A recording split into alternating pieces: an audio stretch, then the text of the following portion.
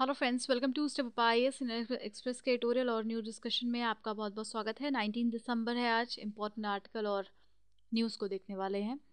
तो आज एक्सप्लेन के टॉपिक को डिस्कस करेंगे हम लोग जिसपे कि बहुत अच्छा लिखा हुआ है आरटीआई टॉपिक है। और जो आर्टिकल हैं, उसमें से एक आर्टिकल हम ले रहे हैं सिटीजनशिप अमेंडमेंट एक्ट पर। सेम बातें ही अलग अलग तरीके से कही जा रही हैं। तो आप चाहें तो को पढ़ सकते हैं अदरवाइज़ ऐसा कोई नया टॉपिक नहीं मिल रहा है अभी एक्सप्रेस में, जिसको कि डिस्कस किया जा सके। तो जो हमारा टॉपिक इंपॉर्टेंट होगा, उसको हम यहाँ पर देखने वाले हैं। साथ में इंपॉर्टेंट न्यूज़ को शामिल करेंगे। And I must tell you कि जो भी बदलाव आपको लगता है आना चाहिए इस सेशन में, या इस पूरे एक्सप्लेनेशन में, उसको आप ज़रूर लिखा करें कमेंट में। और यही कोशिश रहती है कि उसको इंक्लूड किया जाए, ताकि पूरा सेशन पूरा डिस्कशन और अच्छा होता जाए। एंड वो आपको बेनिफिट करे। आपका, आप जो यहाँ पर टाइम डिवोट करते हैं थर्टी मिनट्स ट्वेंटी मिनट्स वो आपके लिए हेल्पफुल साबित हो। तो अपने कमेंट में सजेशन ज़रूर लिखा करें, जो भी आप बदलाव या जो भी आपको लगता है कि चेंजेस आने चाहिए, ठीक है? तो आइए शुरुआत करते हैं। आज का इस राइटिंग का कोटेशन है सोक्रेटिस का the only good is knowledge and the only evil is ignorance हम में से बहुत सारे लोगों में ये दिक्कतें देखने को मिलती हैं।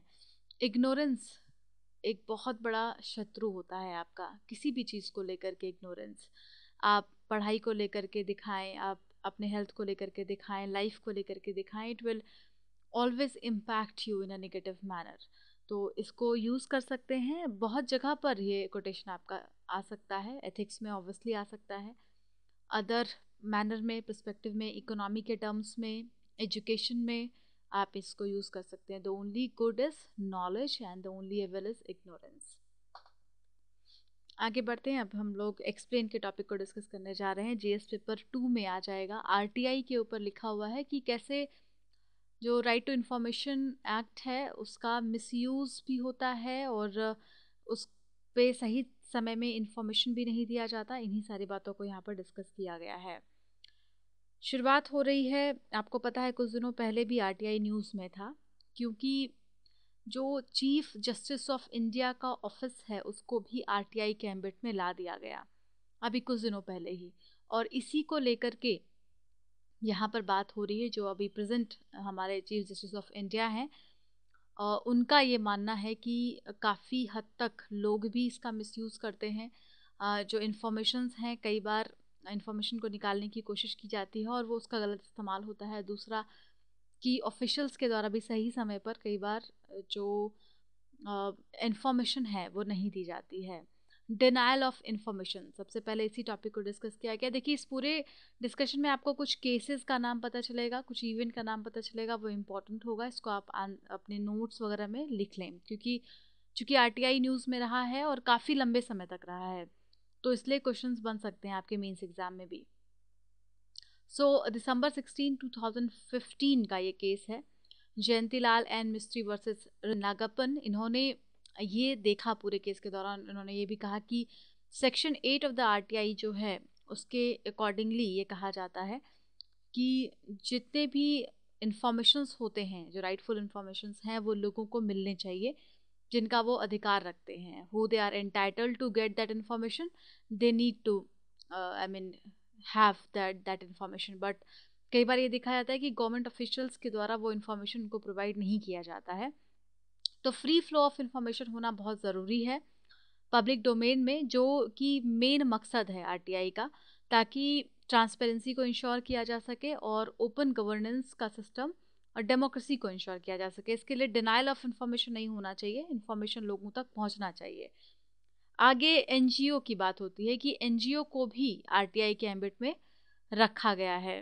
D A V college trust and managing versus director of public instruction on September 17 2019 का ये केस है, जिसमें bench of justice Deepak Gupta Deepak Gupta के बेंच ने ये क्लियर किया था कि an are not beyond the R T I act. N जो है वो आर टी आई एक्ट के बाहर नहीं है. It is not beyond the R T I act. ये भी आप याद रखिएगा, अगर NGO का केस आता है तो हमें कैसे इसको डिस्कस करना है? लेकिन इसमें काफ़ी कन्फ्यूज़न है एनजीओ के टर्म में.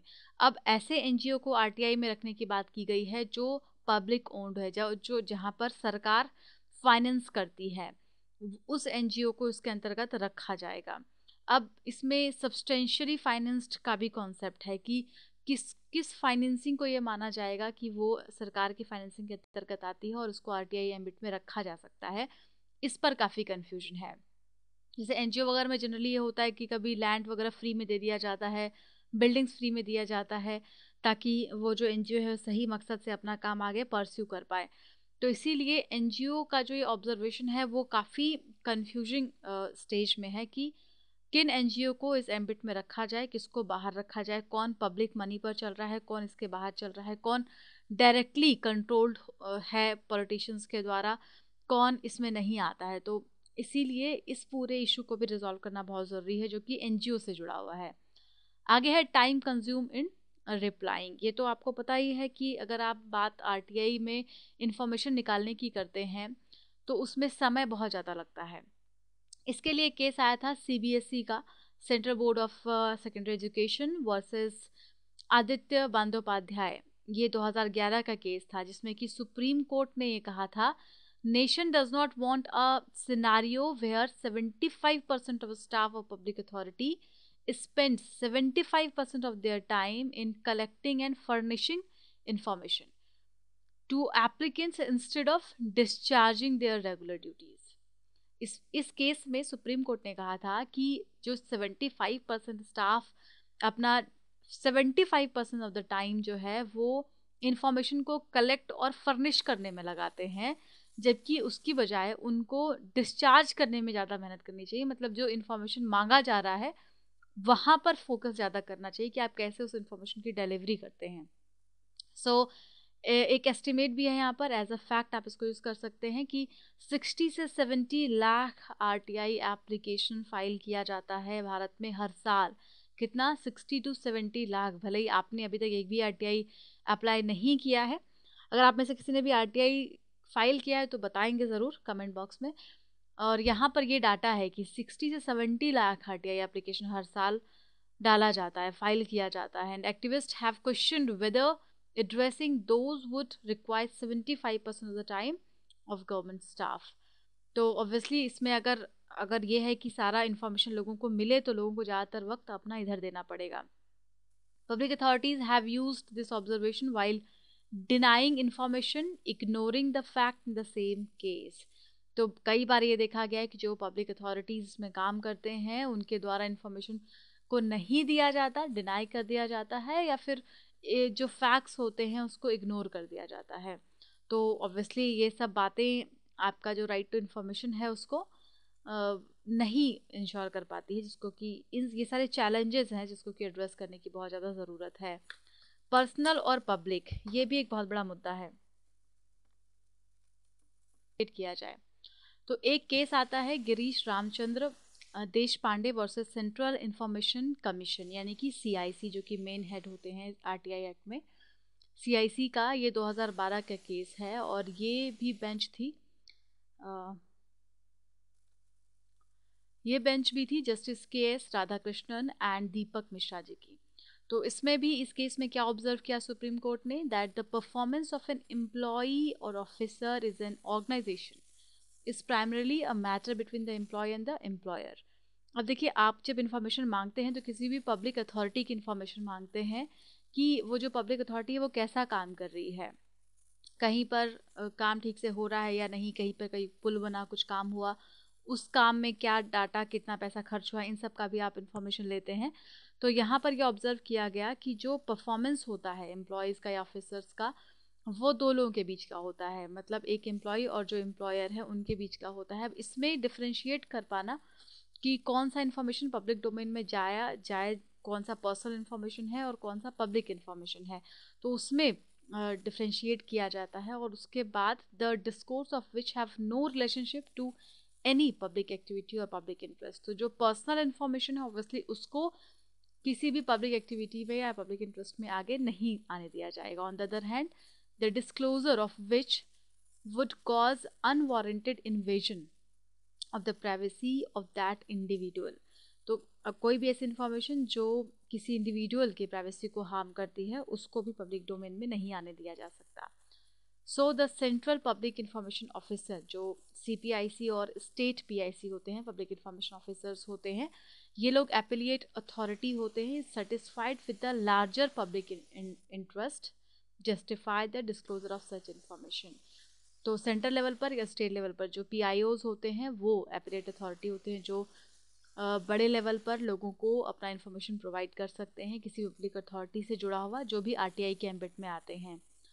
तो ये पूरा इंपॉर्टेंट इशू है, जिसको आपको समझने की ज़रूरत है कि कहाँ पर क्या क्या दिक्कतें हैं।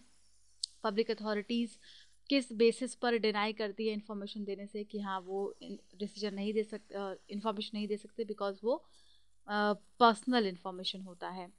And genesis of the law इसमें भी एक यहाँ पर ज़िक्र है कि ये जो शुरुआत हुआ टी आई एक्ट का वो कहाँ से हुआ? 2005 में तो एक्ट बन गया, लेकिन इसके पहले कैसे शुरुआत हुई थी कि राइट टू इन्फॉर्मेशन लोगों के पास होना चाहिए?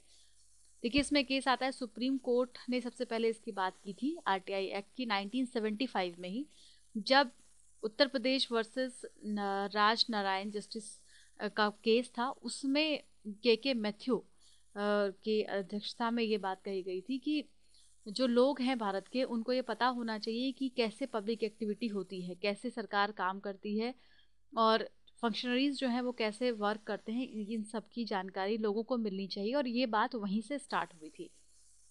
उसके बाद जाकर के freedom of speech and expression की बातचीत हुई और फाइनली 2005 में ये एक्ट बन गया था। लेकिन इसके पहले भी एक एक्ट एग्जिस्ट करता था, जो आर टी आई एक्ट बनने के पहले था। People's right to know in Union of India versus Association for Democratic Reform in 2002 तो इसको फिर चेंज करके आर टी आई एक्ट को लाया गया था। तो ये पूरी कहानी है, जिसमें कि आपने चैलेंजेस देखा आर टी आई का। आर टी आई के बेसिक फैक्ट्स आपको अलग रखने हैं। ये सारे चैलेंजेस आपके आंसर राइटिंग में काम आ सकते हैं। कैसे शुरुआत हुई सुप्रीम कोर्ट के कौन कौन से केसेस हैं जो आरटीआई से जुड़े हुए हैं, वो सब हमने अभी इसमें देखा है। आगे वे फॉरवर्ड में क्या कहा जा रहा है, वो देखते हैं।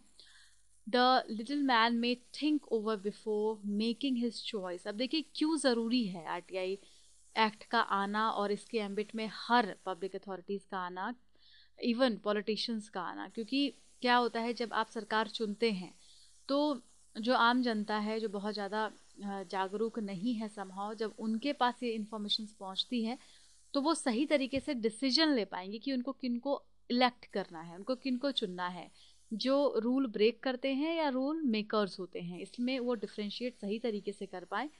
इसके लिए उनके पास इन्फॉर्मेशन का जाना बहुत ज़रूरी है कि जो कैंडिडेट है, उसका क्या क्रिमिनल रिकॉर्ड है एसेट कितना है लाइबिलिटीज़ कितनी है क्या इस सिचुएशन है? इसीलिए इलेक्ट्रल कैंडिडेट्स का भी के भी जो पर्सनल इन्फॉर्मेशन होते हैं, वो उसको पब्लिक डोमेन में लाना ज़रूरी है। ये 2012 में सुप्रीम कोर्ट ने क्लियर कर दिया था। और उसके बाद काफ़ी बदलाव आपको देखने को भी मिला है। हालाँकि अब तो बहुत सारे रूल और भी चेंज हो गए हैं कि दो साल से ज़्यादा जिसको सज़ा हो जाती है, वो इलेक्शन ही नहीं लड़ सकते हैं आठ साल तक तो ये सब भी है। नाउ सेक्शन सिक्स टू ये आरटीआई एक्ट का है, बहुत इंपॉर्टेंट है। अभी section six two eight one J ये सब आप याद रखेंगे। तो सेक्शन सिक्स में क्या कहा गया है? That applicant making request for information shall not be required to give any reason for requesting the information अच्छी बात है कि अगर आपको कोई जानकारी चाहिए तो आपको ये बताने की ज़रूरत नहीं है कि आप उस जानकारी का क्या करेंगे या क्या रीज़न है, आप क्यों जानना चाहते हैं और एनी अदर पर्सनल डिटेल और वहाँ पर आपको कोई पर्सनल डिटेल देने की भी ज़रूरत नहीं है अगर आपको कोई जानकारी चाहिए आर एक्ट के द्वारा तो।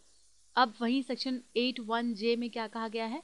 Information which can not be denied to the parliament और a state legislature shall not be denied to any person under R T I act तो यहाँ पर आप इंफॉर्मेशन को डिनाई नहीं कर सकते हैं किसी भी uh, किसी भी पर्सन से। तो you have to give the information coaching से जुड़ी हुई है। पर्सनल गाइडेंस के प्रोग्राम में अभी ह्यूज डिस्काउंट अवेलेबल है, लेकिन ये बहुत दिनों तक नहीं है।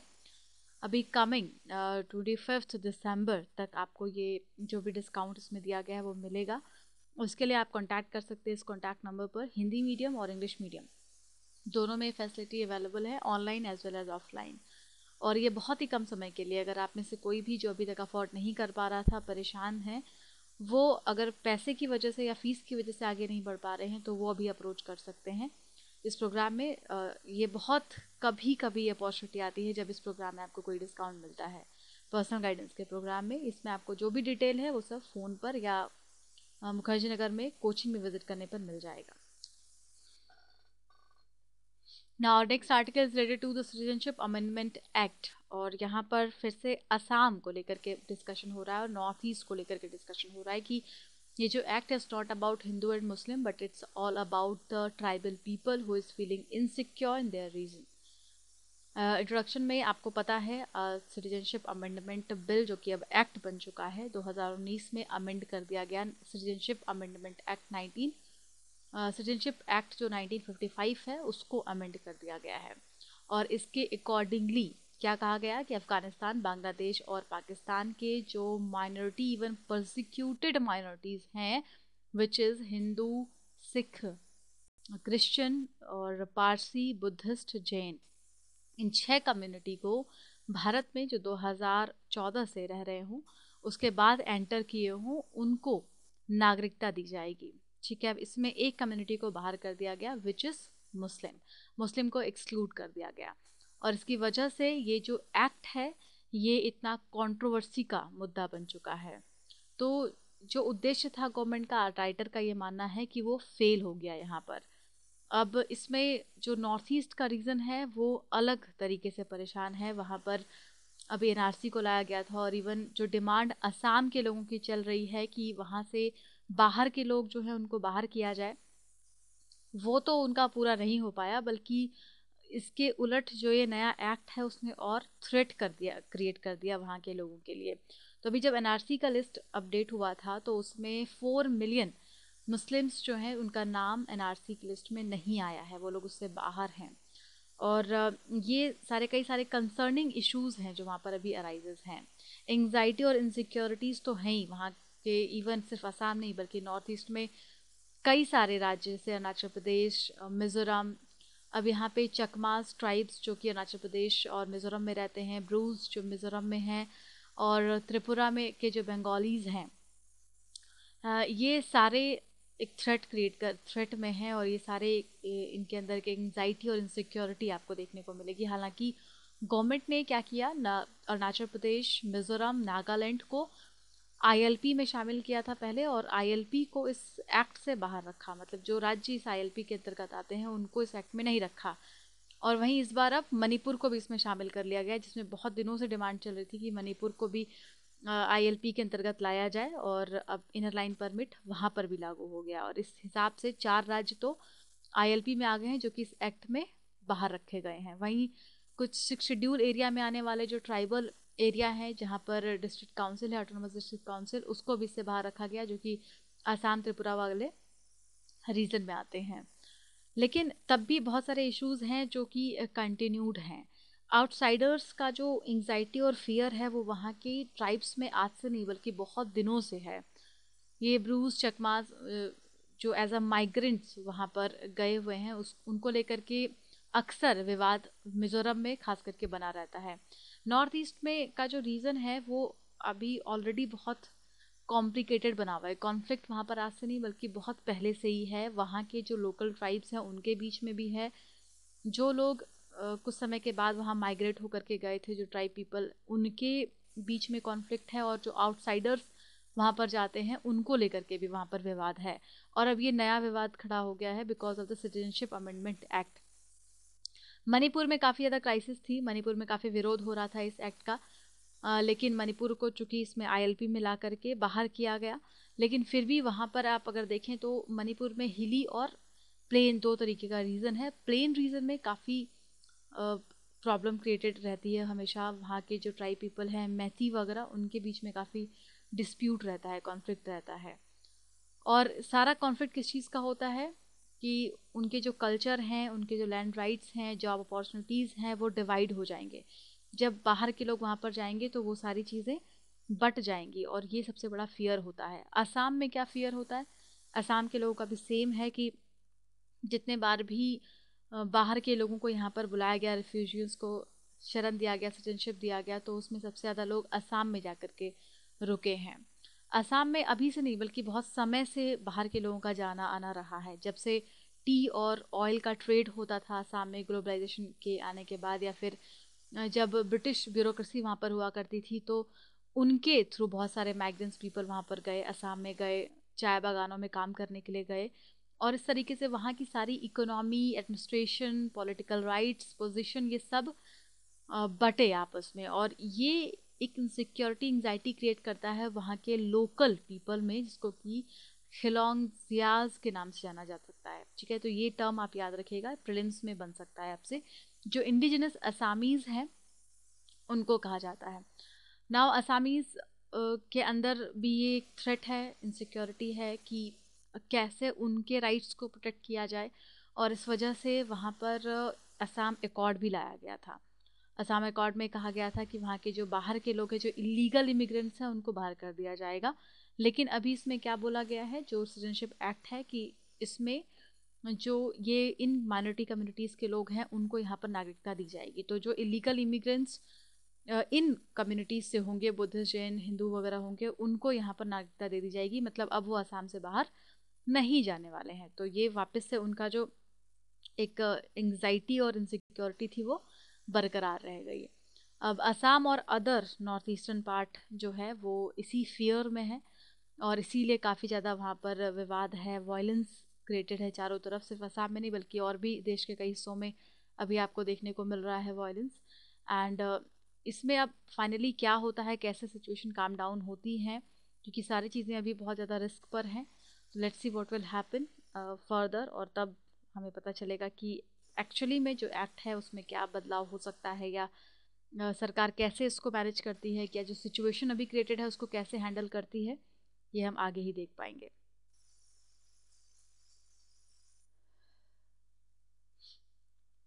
आइए न्यूज़ में चलते हैं और आज का पहला न्यूज़ है एनसीएलएटी से जुड़ा हुआ एन ने मिस्त्री जो केस चल रहा था एग्जीक्यूटिव चेयरमैन थे टाटा सन्स के नाम है साइरस मिस्त्री, साइलेंस, साइरस पलौजी मिस्त्री। और इनको रिमूव कर दिया था टाटा सन्स के जो बोर्ड हैं उन्होंने 2016 में, ठीक है? इस पद से जो इनका एग्जीक्यूटिव चेयरमैन का पद था उससे रिमूव कर दिया था। इसके बाद ये केस एनसीएलटी में चला, ठीक है? एनसीएलटी में चला और वहाँ पर जो वर्डिक था वो टाटा सन्स के फेवर में आया था, यानी कि मिस्त्री के खिलाफ आया था। उसके बाद फिर ये केस को लेकर के पहुँचे एपलीट ट्रिब्यूनल में, जहाँ पर फैसला मिस्त्री के, साइरस मिस्त्री के पक्ष में आया है। और ये कहा कि साइरस मिस्त्री को फिर से उनके पद पर रिस्टोर किया जाए, जब तक कि उनका टेन्योर बचा हुआ है तब तक के लिए। तो देखिए, इस पर आगे क्या बातचीत होती है तो यहाँ पर आपको एनसीएलटी और एनसीएलएटी के बारे में बहुत अच्छे से जानकारी होनी चाहिए। इसका मतलब यहाँ पे आप समझ गए कि एनसीएलटी में जब कोई केस जाता है, यहाँ पे जो भी फैसला आता है, अगर आप उससे सहमत नहीं हैं तो आप फिर कुछ समय के बाद, जो टाइम पीरियड होता है, उसके बाद आप एपिलिएट ट्रिब्यूनल में जा सकते हैं। और एपिलिएट ट्रिब्यूनल का जो फैसला आता है, अगर आप तब इससे सहमत नहीं हैं तो फिर आप सुप्रीम कोर्ट में जा सकते हैं। तो ये इसका जो हरारकी है, ये आपको याद रखना है। एनसीएलटी के फैसले को लेकर के आप सीधा सुप्रीम कोर्ट में नहीं जा सकते, ये भी आपको याद रखना है। आगे बढ़ते हैं। अगला न्यूज़ है स्मॉग टावर से जुड़ा हुआ। स्मॉग टावर लगाया जाएगा दिल्ली में और इसमें 26 करोड़ रुपए तक का खर्च हो सकता है। अगले साल इस पूरे टावर को अलग अलग जगह पर लगाया जाएगा। दिल्ली की बात हो रही है, स्मॉग टावर किस तरीके का होगा? 40 फीट तक लंबा और ट्वेंटी फीट तक चौड़ा ये टावर होगा। ऑब्वियसली स्मॉग को ख़त्म करने के लिए जो यहाँ की सिचुएशन बहुत ख़राब हो जाती है अक्टूबर के बाद, उसको प्योरीफाई करने के लिए एनवायरनमेंट को क्लीन करने के लिए ये स्मॉग टावर जगह जगह पर लगाए जाएँगे। और able to provide clean air in three kilometre radius ये अपने लोकेशन के तीन किलोमीटर के एरिया को क्लीन uh, एयर वहाँ पर रखेगा। तो ये इसकी ख़ास बात है जैसे कि सेवेंटी फाइव थाउज़ेंड लाइफ्स जो हैं वो सिक्योर रहेंगे प्रोटेक्टेड रहेंगे। ऐसा गवर्नमेंट के द्वारा क्लियर किया गया है। तो ये इसके बेसिक फैक्ट्स हैं। स्मॉग टावर याद रखिएगा दिल्ली में इसको प्रपोज किया गया है। कार्बन फ़िल्टर की तरह ये काम करेगा। आगे बढ़ते हैं, अगला न्यूज़ है, इंडिया बांग्लादेश से जुड़ा हुआ, गुड न्यूज़ तो नहीं है, लेकिन इसमें न्यूज़ ये है कि अभी एक टेक्निकल टॉक होने वाला था रिवर वाटर के शेयरिंग पर, जो कि कैंसिल हो गया है। इस पर अभी बातें ये हो रही हैं कि सिटीजनशिप अमेंडमेंट एक्ट का विरोध करने के लिए ये जो अभी वार्ता है उसको स्थगित किया गया है कैंसिल किया गया लेकिन जो यहाँ के ऑफिशल्स हैं, उनका ये कहना है कि इस पर जो डॉक्यूमेंटेशन था वो पूरी तरीके से तैयार नहीं था। इसलिए इस मीटिंग को कैंसिल किया गया है। देखिए बेसिक फैक्ट यहाँ पर है इंडिया और बांग्लादेश 54 रिवर का वाटर शेयर करते हैं। एंड जॉइंट रिवर कमीशन है इनके बीच जो 1972 से फ़ंक्शन में है। और यही सारी चीज़ों की का असेसमेंट करता है। याद रखना है आपको। अगला न्यूज़ बहुत ज़्यादा इंपॉर्टेंट है। एनवायरमेंट कंजर्वेशन से है। आ, नाम है हबारा बस्टर्ड IUCN में स्टेटस है वलनरेबल याद रखिएगा, क्या है? वलनरेबल स्टेटस है IUCN की रेड लिस्ट में. न्यूज़ में इसलिए है बिकॉज़ पाकिस्तान ने जो कतर के रॉयल्स हैं, उनको परमिशन दे दिया है कि आप इस बस्टर्ड का शिकार कर सकते हैं।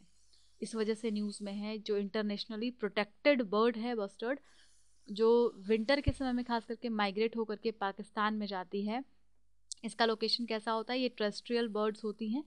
और माइग्रेटरी बर्ड होती हैं बस्टर्ड जिसे आप ग्रेट इंडियन बस्टर्ड का भी नाम जानते हैं, लेकिन ये है हौबारा बस्टर्ड जो पाकिस्तान में माइग्रेट होकर के जाती है विंटर के समय में, और वहाँ पर जो कतर के रॉयल फैमिली हैं, उसको ये हंट करने का परमिशन देती है पाकिस्तान सरकार। इसके खिलाफ बहुत सारे पैसे वो लेती है।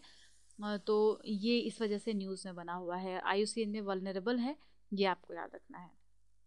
आज के इतना ही। Thank you so much PDF आपको इस वेबसाइट टेलीग्राम चैनल पर मिल जाएगा which is at the rate step up I S P के लिए आप यहाँ पर जाएँ और आपको पसंद आया हो पूरा लेक्चर तो आप लाइक करें कमेंट करें, अपने सजेशंस ज़रूर भेजें। Thank you